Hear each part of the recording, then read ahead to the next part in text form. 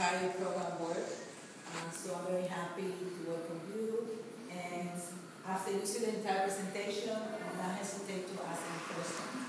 And you will meet the rest of the, the staff later on today. And we just want to start having fun. This is, this is, the, this is the best job we ever have. All right? Because this is really fun. Welcome.